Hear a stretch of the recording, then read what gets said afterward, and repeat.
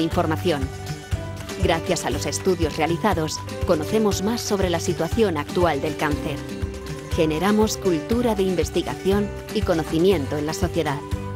Gracias a patronos, patrocinadores, colaboradores, voluntarios y a miles de personas anónimas que nos ayudan a avanzar en la lucha contra el cáncer. Contigo somos más fuertes.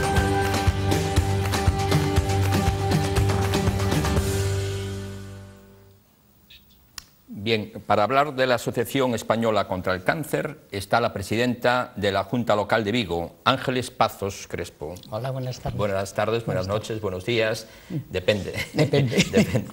Entonces, eh, yo lo primero que te preguntaría, la gran mayoría de la población, o yo hablar de la asociación, pero en definitiva, ¿qué, qué hacéis y por qué estáis ahí? Bueno, la asociación es una organización sin ánimo de lucro que nació hace 60 años aquí en España uh -huh. y está formada por un conjunto de personas que son voluntarios, pacientes y sus familiares y, y, y trabajadores. trabajadores. Y todos juntos es lo que hace que, que, apoyemos al paciente, que lo acompañemos y que hagamos mucha labor de prevención y una parte muy importante que tenemos Mm, por además mm, obligatoriamente todas las juntas provinciales y locales es destinar una parte de nuestros ingresos a investigación contra investigación, el que es lo que hemos visto y que... El 15% de todos los recursos que obtenemos cada junta local y provincial va destinado a investigación. ¿Vosotros que abarcáis Vigo?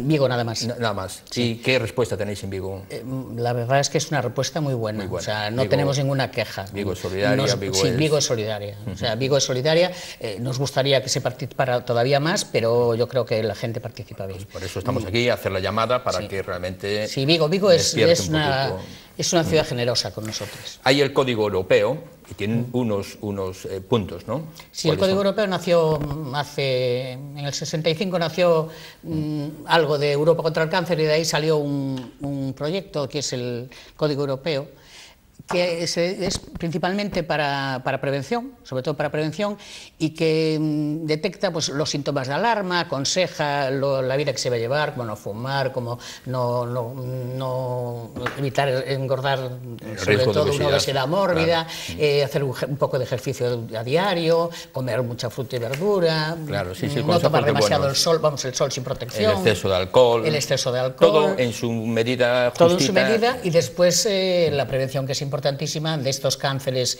mmm, que se pueden, que tienen una fácil prevención, como son el de útero, mama y, y colon. Sí, la.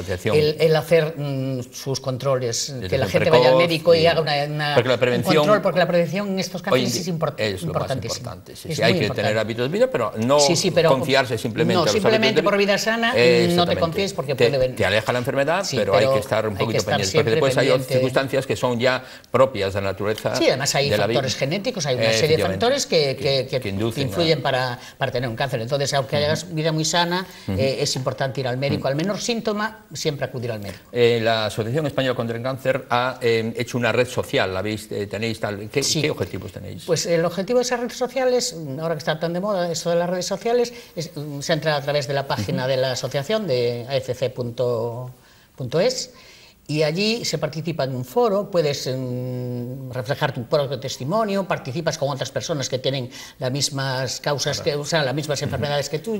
Entonces es para tener información, para, tener información, para, para consolarte con otra persona esto, que está como tú, exacto. para dar tu testimonio, que a veces hay gente que quiere dar su propio testimonio y participar en el foro que es muy interesante. O sea, la entrada es, eh, la entrada es www.afc.es y allí ya y ahí buscas redes sociales, buscas red social allí y, y entras en la red social. Hablemos ahora de la acción del voluntariado del voluntariado. ¿Qué significa ser voluntario en, en bueno, la ACC? Ser voluntario en la asociación, lo principal que significa es compromiso, compromiso y profesionalidad y, y estar pendiente siempre de, de, de todo lo, lo, que demande la, las personas. ¿no? Uh -huh. Pero los voluntarios para nosotros son... Mmm, nuestro mayor capital. Es, eh, nuestro mayor capital son los voluntarios porque sin ellos no podríamos ni con los trabajadores ni con el equipo directivo podríamos hacer nada sin los voluntarios. Y significa pues estar al lado del enfermo, apoyarlo o salir a la calle a pedir o salir a la calle a vender lotería o estar claro. haciendo labores administrativas en cada momento mmm, lo que te demande. Cada voluntario tiene un perfil un perfil y mm, puede alcanzar y, y puede alcanzar un, unas, sí, unos les gusta más los hospitales, otros les gusta más los domicilios sí, sí. con los enfermos y otros les gusta pues labores de obtención de recursos o de administrativa, afecto a más, una más tarea. de otro tipo. Sí. ¿Y Vigo también responde en ese plano? Bueno, Vigo está, mm, tenía un voluntariado ya un poco mm, que nos estamos haciendo todos mayores. Ahora quizá mm, con el problema de la crisis nos haya crecido un poco el voluntariado joven. Yo supongo que será una cosa coyuntural por el paro. ¿no? Pero sí que es verdad que el jueves mismo empieza un curso de voluntariado y hay 25 personas apuntadas y hay mucha gente joven. Y a mí Sí. eso me encanta ver a la ¿Tenéis gente algún, joven en, algún sistema para hacer captación de voluntarios? de voluntarios es un poco el boca a boca lo que funciona. El- funciona sí, mejor el- Sí, funciona mucho el boca a boca. Gente que, es, que llama y que eh, pasa por la asociación, que estamos ahí en Doctor Cadaval, y que mm, se interesa por nuestras cosas, y después otros voluntarios traen a otros, y así es un- una red. Me está diciendo nuestra compañera Maika, me está diciendo que mm, tenemos un vídeo ahí que también quiero que veas, que es muy bonito, de, de- de cultura, de ¿no? cultura, es de cultura y nos, es de Alessia Alonso y nos trae las cantareiras de Pedra Moura. Pues vamos a verlo para divertirnos un poquito, ¿no? sí. Vamos a ver el...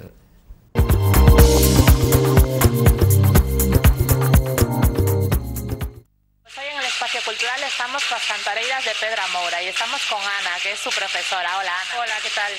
Bueno Ana, cuéntanos un poquito cómo fue eh, los inicios de este grupo, ¿no? que llevan poco tiempo y que además las personas que estamos viendo aquí ahora empezaron de cero, ¿no? Sí, sí, son personas, unhas mulleres xa relativamente maiores que empezaron de cero absolutamente e a verdade é que colleron con moitas ganas o sea, é rarísimo que falte algún algún ensayo están super puntuales aquí para aproveitar as dúas horas o máximo O sea, que le ponen ganas, pero me imagino que los inicios, al no tener conocimientos, eh, fueron más duros, ¿no? Principio algunha hasta se desanimaba porque tocar a pandeireta parece moi fácil, pero non é tan fácil como parece. Pero bueno, elas con ganas e con tesón e sen perder ningún ensayo o conseguiron, ata que tocaron pandeireta, pandeiro, cunchas, etcétera, non pararon. Y en cuanto al repertorio, eh, son canciones populares, hacéis mezcla con otras, eh, pues no sé, a lo mejor son gallegas, hay gente que, que coge de otras autonomías. Sí, son, son cantigas galegas, algunhas populares, a de cancioneiros populares que coñece todo o mundo, e outras un pouco máis específicas, recollidas de povos, de personas maiores, hai grupos xa en Vigo e arredores que se dedican a ir recollendo polos povos, que son pezas recollidas.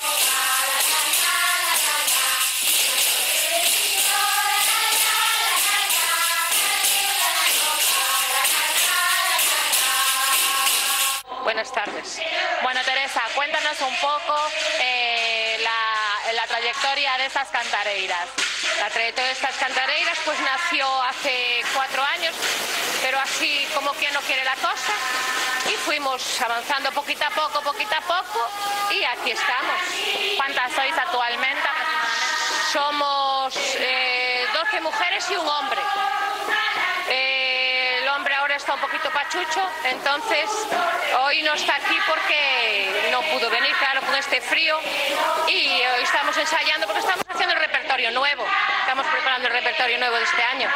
Muy bien, en cuanto a actuaciones, eh, ¿qué tipo de actuaciones habéis tenido este 2013 que dejamos atrás? En el 2013 pues, eh, estuvimos actuando en centros de la tercera edad y en todas la- las fiestas de aquí patronales y donde nos llamen.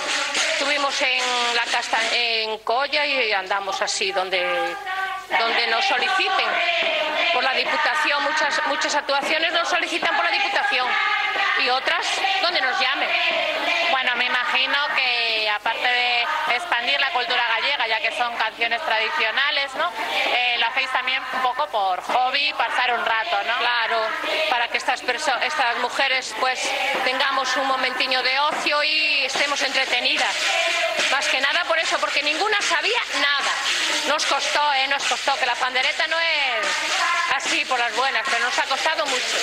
Bueno, pues anima a personas que nos están viendo que participen, ¿no? Aquí en estas cantareiras. Yo a todas las mujeres y hombres que quieran participar, les ruego que se metan en grupos, porque esto a, base de tenacidad aprendes, cantas y estás entretenido.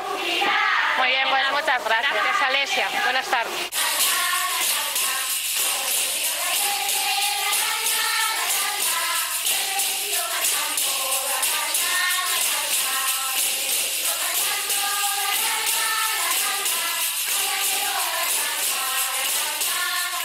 Ahí. Bueno, eh, estamos viendo a Alexi Alonso con sus cantareiras, está muy, muy, muy bonito. La actividad eh, social recreativa también influirá en, en, el modus vivendi, en la, la calidad También, de vida. de hecho, nosotros tenemos muchísimos talleres de, de- de terapia conjunta, ¿no? Sí, sí. Tenemos talleres de labores, talleres de punto, talleres de inglés, de memoria, o sea, hay muchos talleres que la gente se, se está con la misma problemática y están todos juntos allí haciendo una laborcilla y tal y están Pero mucho más entretenidos. Sí, hay una terapia de ocio y tiempo libre también que van pacientes de cáncer a, a una, una especie de balneario así tres días que también tienen actividades allí. Entonces todo eso... vamos a hacer un resumen. No fumar, lugar no fumar, combatir la obesidad, La obesidad. hacer un poquito de ejercicio todos los días, aunque sea ligero, Mover- el fumar, el, el no beber, No beber excesivamente. excesivamente, Y el- la- la alimentación el- es- la alimentación es muy importante, mucha, consumir mucha fruta y verdura, y después, pues, sobre todo la prevención. La, prevención es muy importante. Eh, cualquier cosita que uno tenga Cualquier dudas, a síntoma médico, que uno tenga, mejor acudir al médico al antes médico. que, que, más- que después, que más tarde. eh, tú me parece que querías Sí, yo preguntar. quería, pregun- quería preguntarle, mejor que dijera, dónde y cómo se puede colaborar con vosotros aquí en Vigo. Pues ¿dónde? En nuestra sede, que es en Doctor Cadaval 27, primero, entre Sol e Izquierda. Allí es- mm, siempre hay gente para atender y allí le informarán. Y si no, llamando al teléfono 986 220303, allí le informan de todo. También tenemos un- una, en Facebook, también estamos, la, la Junta ¿En las Provincial. redes sociales? Sí, en las redes sociales también estamos, entonces en Facebook, en afc.es. En la Junta Provincial tiene una página y allí también, también además allí promocionan por los eventos de Vigo también. Ahora yo te voy a dar la oportunidad que tú em, digas lo que quieras decir para hacer una llamada o lo que... Yo la llamada que hago siempre, en primer lugar, mm, referido a los pacientes, la prevención, que por favor que la gente mm, acuda al médico, que, mm, que las mujeres vayan a hacerse mamografías, que las mujeres y los hombres vayan a hacerse el test de, de sangre en heces para el cáncer de colon, que se hagan los controles para el cáncer de útero y después en general a toda la población pues que nos ayuden en todo lo que puedan, que Claro. todas las colaboraciones son buenas, tanto, económicas como de voluntariado. Cualquier Una ayudita pequeña de todos pe- por hace pequeña una que sea gran- la ayuda, tanto en, en monetariamente como en, en tiempo, mm, Eh, es importantísimo. Las dos cosas. Las dos cosas. No solamente en Sí, tiempo. no, claro. No solamente en tiempo, la económica es muy importante, si no, no podríamos hacer ni la cuarta parte de las cosas que hacemos si no tuviéramos medios económicos, eso está claro. Bueno, pues te agradezco mucho eh, el estar aquí con Y yo nosotros os hoy. agradezco a vosotros en nombre de la asociación porque creo que el que la gente nos conozca, a mí, a nosotros siempre decimos lo mismo, que nos gustaría que no quedara ni un solo vigués que no nos conociera y que todo el que tenga cualquier problema o que tenga un familiar o una- un amigo que tenga un problema, que acuda a la asociación, que Sí, allí en- atenderemos. este año pasado hicisteis una carrera eh, contra el cáncer, ¿no? No lo hicimos nosotros, la hizo un grupo, Bueno, de, grupo, de gentes, sí. Rosa Soliño y sus chicos, sí, y que fue un. Eh, un éxito. Un éxito tremendo, que Bien. además eso nos aportó unos Pues recursos eh, maravillosos. yo aquí para- os emplazo a que cualquier cosa que hagáis promocional para llamar y tal tumba, eh, daros voz en este programa. Pues lo O sea, que aquí en cuenta. contar con nosotros Yo- para dar a conocer. Tenemos, tenemos el correo del programa, el vuestro y tal, entonces ya lo tendremos en cuenta cuando queramos promocionar algo, porque esto es un... Hombre, la televisión lo que Es un que es un medio medio que llega a muchas- que llega a todo el mundo, llega a mucha gente, sí. llega más a veces que... que- que, Sí, que- no, la radio también llega, pero bueno, la televisión yo creo que llega más. La Bueno, gente Yo es más creo de- que Pues llega más, esperamos sí. haber ayudado a la asociación. Yo creo que sí. Y aquí que estamos para lo que todos, todos los que hacéis algo por nosotros nos ayudáis. Gracias, gracias. Ángeles Gracias por tu presencia y hasta gracias. pronto. Bueno, gracias también a todos ustedes, gracias Maika Gracias a ti. y hasta la semana próxima. Tú ya sabes que la salud es lo más importante para ti y la gente que quieres. En Sanatorio Conchiro trabajamos desde hace 50 años con los profesionales más cualificados y los medios técnicos más avanzados, cubriendo múltiples especialidades médicas, con énfasis en traumatología y problemas de espalda. Somos el centro de referencia para la Federación Gallega de Fútbol. En Sanatorio Concheiro nos importas. Avenida de Madrid 4 Vigo.